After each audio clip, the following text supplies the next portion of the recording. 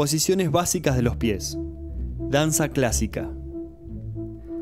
Dentro de la técnica clásica existen cinco posiciones básicas de los pies. Se utilizan en todos los pasos de la danza, ya sea para comenzarlos, en medio de un traslado o bien para finalizar un movimiento. Su correcta colocación y trabajo muscular le permiten al bailarín ejecutar pasos de mayor dificultad. Primera posición.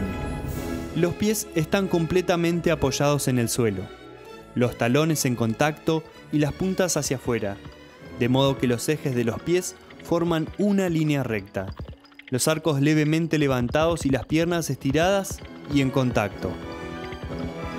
Segunda posición. Los pies se disponen de la misma manera que en la primera posición, solo que en esta vez los talones se separan lateralmente uno del otro a un pie de distancia. Tercera posición. Las piernas se colocan una delante de la otra, apoyando el talón de la pierna de adelante a la altura del arco del pie de atrás. Los talones señalan hacia afuera como en todas las posiciones básicas de la danza. Cuarta posición.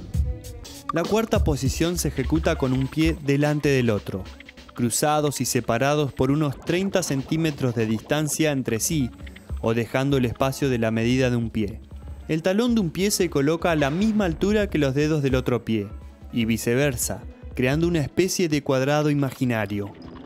Quinta posición. Aquí, los dedos de los pies se direccionan hacia afuera en sentido opuesto cada uno, cruzando una pierna delante de la otra hasta llegar a tocar el talón de una con los dedos de la otra.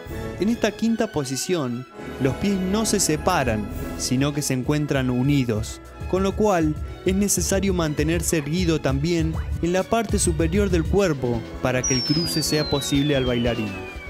Es la posición más compleja para un alumno principiante, ya que necesita saber lograr una buena postura de rotación.